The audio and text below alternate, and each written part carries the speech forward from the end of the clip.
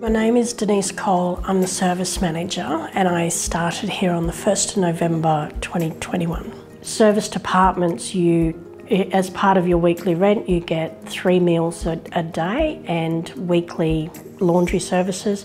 We maintain all the common areas, cleaning, we maintain all the maintenance issues, yards. You can claim your rent through Centrelink, so you can get um, rent assistance in your pension.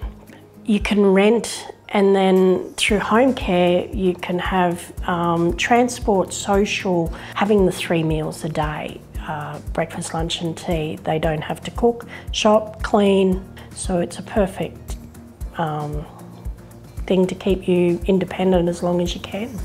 You personalise your room, you supply all, all your furniture yourself.